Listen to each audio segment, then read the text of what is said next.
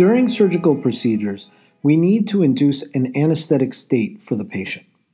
This state will relieve pain, relax muscles, allow for memory loss, and render the patient unconscious. Let's see how we induce this state.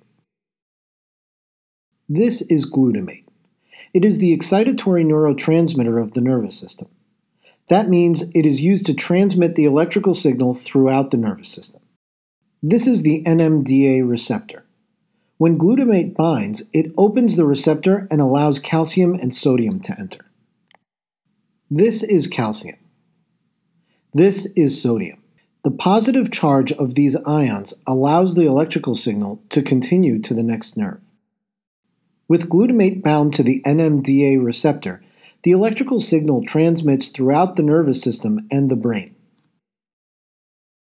When ketamine binds to the NMDA receptor, it keeps the receptor from opening and allowing calcium and sodium to enter.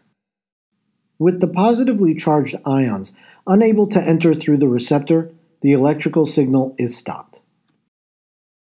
Blocking of the electrical signal results in the anesthetic state.